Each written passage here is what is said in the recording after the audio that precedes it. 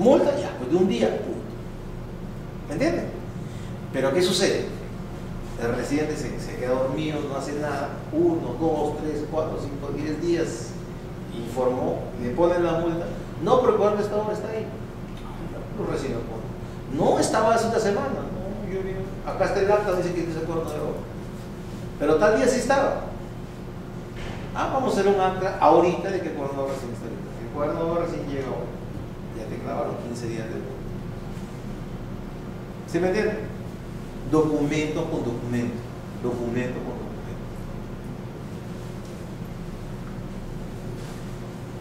Terminal, ojo, 5 por mil del monto de la valorización. De la valorización del mes en el que ocurre el no acceso al cuarto de obra.